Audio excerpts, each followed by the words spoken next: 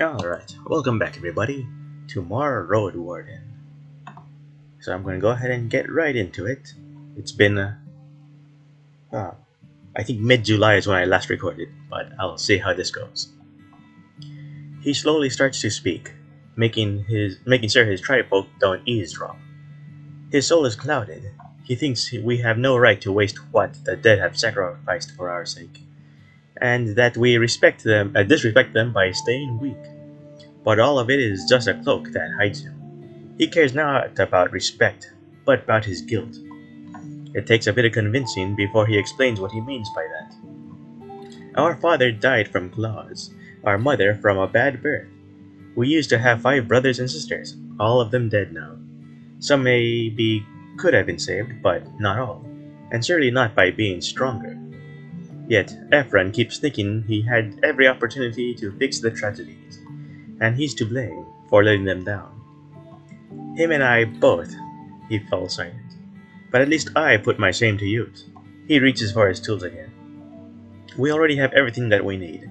A beautiful home, enough food, fewer beasts than ever. It's going to be a rough lifetime for us. He takes a swing, but our kids will be fine. Okay, let's see. How about about the eastern path? Oh, did you face any troubles? I'll let you know. Okay, my my quest is to take care of something or other. Let's see. I imagine being a carpenter in this part of the realm isn't easy. You have a healthy imagination. He rests his elbow on the workbench and smiles. I have patience, and I'm getting better with tools. And these are some sorry tools, he says singingly, and it's hard to disagree with him. They have been used for many years, with only the wooden parts being somewhat unsafe, since they seem to have been recently replaced. The steel chisels and saws are jagged and dull. The hammers and axes are made of stone. Some of them were brought here by the settlers, and we can't buy any more right now. There's work to be done, but I do have a plan. You ask him to explain, and he's all too eager to do so.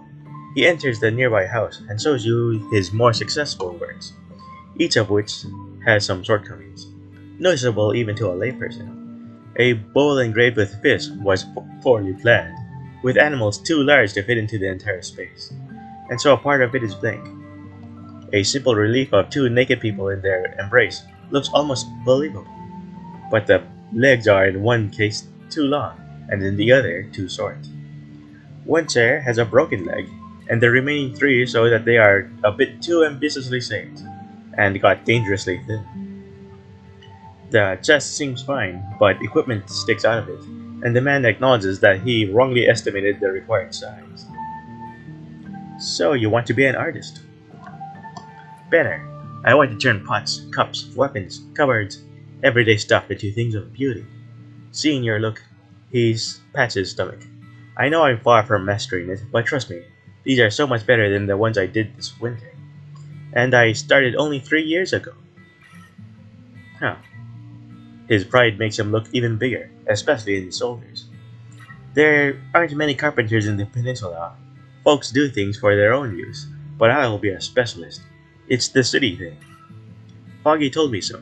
Not just a jointer, but someone who does only a few things but better than others. The tribe supports me with food and time, and I'll pay them back with the dragon bones and prettier houses. When he leads you outside, you start to share some of his excitement, but most of it dwindles away after you sit down at his workbench again, on wobbly stools, surrounded by broken planks and crude tools. Hmm. I need a wooden lantern, one useful for an adventurer. Dreaming of caves and treasures? He glances at the nearest pile of planks. I should have some glue and leather to spare, but making a lantern would take me half a day, and I've got a lot of sawing ahead. He points at a broken chair behind him with his thumb. Excuse me. If you really need it, friend, you can give it a try. I'll lead you through the difficult steps, but it'll take us almost half a day. It's too late for that, dang it. It's already nighttime, actually. I'll let you know when I'm ready. No hurry, believe me, he chuckles. Okay. And that was me talking to Ayla the carpenter. It's It's actually really late. Can I seek shelter? It's too dangerous to stay here. You can't sleep here, but there's still time to travel to a safe place. To Foggy Lake. Okay, let's go there. Yeah. Alright, I'll come back here the next day and get that lantern. The screeching birds are sitting on the logs of the palisade. Some of them observe you, but their group doesn't cease to its squabbling. The tavern's windows and doors are open, and a bunch of furs are spread over the fence. We're fighting bugs, says the sorter man when he sees your look. Huh. Can I just go to sleep? Or can I go inside first? How much how many of those things do I have? I have three. I think I'll have to save or uh let me think. This is Numa, right? Pretty sure.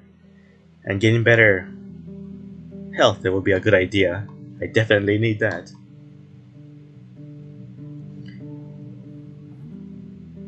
Okay, paint. Oh, okay. So I either pay... Yeah, let's pay the two rations then. Because I seem to have a very uh, deep stomach for emptiness. Alright, time to sleep. As you prepare your belongings, you, realize, you realize that the days are getting noticeably shorter. The closer you get to autumn, the less time you'll have to before the beasts of the night leave their lairs. For now, it won't be that bad, but I better make sure not to not waste too many hours.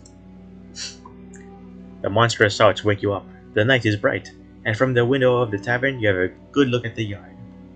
A few massive dragon loons are exploring the courtyard, knocking over wooden tools with their tails, putting their noses into buckets and underneath the stairs. You count five of them so far, but you can't see the entire area at once. One of them spots your look and moves closer. Still, it doesn't try to climb to the, door, to the door. Maybe it's experienced enough to know it won't get through.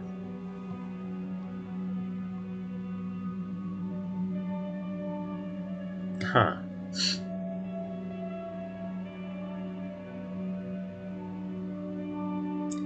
I, I actually am, I'm surrounded by a bunch of people, so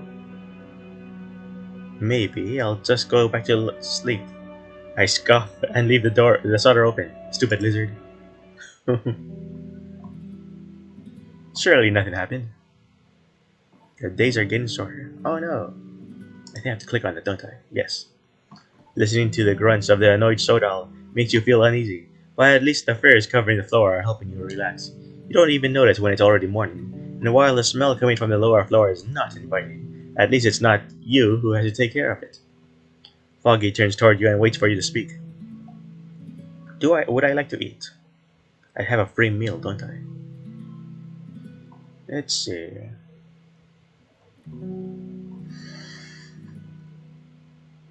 Uh, I should wait until I'm hungrier. So time for me to go. Sodal is observing the movement on the lake. Let's go back to the other place. I think I might still need... Oh, well, what was the place? It was this place, Creeks. Yeah. Let's go here. Go back to Ephron and look into putting together that thing. Let's see, a few scantily clad people are standing on the bridge, greeting you as you ride by. On your way to the gate, a flock of sparrows takes off from the road, landing either on the watchtower or on the tree to your right. Ayla. Let's see. He's rounding a block of wood, excuse me, preparing a future club. He waves to you with a chisel. Hi there, friend. I say you've taken a liking to our village. I have time now. Want to help me build a lantern? He spares you a shrug. If you really need it, friend, you can give it a try. I'll lead you through the difficult steps, but it will take us almost half a day. Let's get to it. Wow, I'm super hungry now. Cutting and shaping the slats seems to go on without end, and while Ella's instructions helps you keep your hands safe, the blunt, jagged tools are merciless. You have little to sew after the first hour, and the carpenter puts his own work aside. At such a pace, you'll have to return to this tomorrow. Let's try something different. He leads you into a chamber storing all of his projects, most of them crooked or half completed, and invites you to search through. A chest filled with wooden discs boards and rods, with even more trash stored behind it. Some of them must be salvageable. His chuckle carries a hint of irritation, but indeed, you both leave the room with many pieces that will take little, hardly any sawing.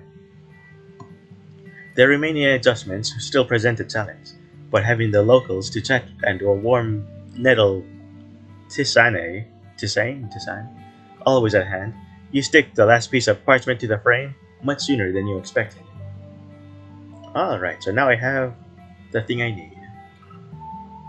See you later. Now let's see. We've already lost a whole lot of the day. Let's just go talk to people then.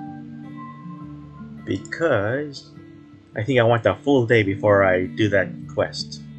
Uh, it's quest, right? Yeah, quests. Check on old Pagos? No. Support ruined village. A fallen tree. To the east. Okay, look for Ephraim the Hunter. I might be able to get some free food. Whoops, I shouldn't change my position so close to the... You find him jogging along the creek, next to a small forest. With a heavy bag on his back. Whoops. Okay, you find him jogging along the creek, next to the small forest, with a heavy bag on his back. Once you get closer, he nods politely.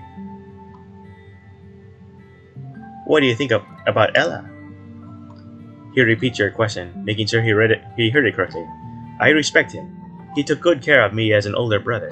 Our tale isn't an easy one, so I'd rather keep it to ourselves before you blurt something back to him. Huh. Okay. Are you the only hunter around? But of course. There's... He takes a suspiciously long pause. Seven of us. In the whole tribe? The tribe... Okay, maybe... Huh. Only seven people in the tribe? The tribe is small. We have enough food without daily trips. If we catch too much meat, it spoils, so it's better to let the animals feel safe. You try to change the topic, but the man suddenly looks around and lowers his wolf's head. Well, there's just one issue. Three of my friends left the village just a few days ago, and they haven't returned yet. But they should. Ella is growing worried. Why do you think these hunt other hunters aren't back yet? He walks around, from time to time looking at you with an open mouth, not sure how to start. He takes off his heavy cloak and looks to you in the eyes. They left for a few days to seek and kill some big game, each of them a different one, then bring all of them for me to, to judge. His confident voice falters when he mentions his own part. The winner would have caught me the prey of the greatest size, rarity, utility, and of the greatest threat. He turns away and lowers a wolf's mouth. Hmm. Tell me more about those three. They are hunters and fighters, but also close friends. If one of them was in trouble, the others would have done all they could to help. They've been a team for years, and were planning to start a family this winter, you know? Their last big adventure before Dahlia's belly locked her at home. Okay, so maybe Dahlia is one of those who went hunting. He gives you quite a tale of their deeds and features. Dahlia is the bravest of them, with strong legs, she has simple ways and looks for beasts in the open, by the roads. Her hair is light, always tied in a single braid. Admon is a man who seeks paths and challenges. He believes that seeking knowledge of the peninsula will bring the tri tribe ways to survive hardships. He was, is smaller than the others, and knows more about dressing and wild game than any of us. His arms are small, so he often places traps. His hair is a bit darker than Dahlia's, but short, just like his beard. Vache is not a man, though they were born with a prick, and wears browns and greens to blend in with the trees. They hunt like a gargoyle, hiding among leaves, jumping at a creature when it gets close. Because of that, they often that they have often roamed in the woods, even those that are far away from the village. This sounds serious. But if you want me to look for them, I still deserve a reward, yes? Isn't helping three young, strong souls enough? Seeing your look, he raises his voice, draws his obsidian edge club, and touches his chest with it. Then I will loyally assist you, friend. For your brave deeds, you may count on me on a day of great challenge. Like the one where I have to sacrifice to that tree thing. As he lowers his weapon, he winks at you. And others will be grateful as well, you know that. And where should I start? He looks at you as if you're slow. I would have found them myself if I knew. I let the horse take you to the other settlements. Ask there.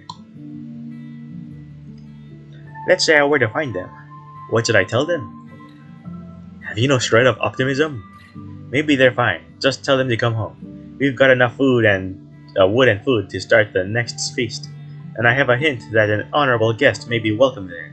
He smiles at you, and for a moment, you think you see the wolf's head wink. A wolf head's wink. Blah. Does your tribe often send lone hunters? Why not work in groups?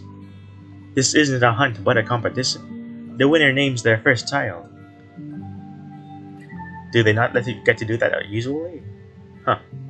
I, I've heard their arguments. You wouldn't believe how hard it is to pick a name when you have three parents. Okay, he chuckles to himself. Once the memory fades, he gets serious again. But I can't disagree with you, friend. It's the first time in many years since my tribefolk have gone on such reckless trips, and I fear it may remind us why the peninsula isn't a place for adventurers. Hmm, your assistants, huh? How about some dragon bones? They might actually be use more useful than dragon bones. I've got the other guy ready to pay me. I'll tell you if I find anything. Thanks, friend. If all you have is a tale of their dead selves, bring me something to prove it. I, a trinket, a weapon, a thing we can throw into a pyre. I'll try. Okay, to find them individually. And that's that, he shrugs.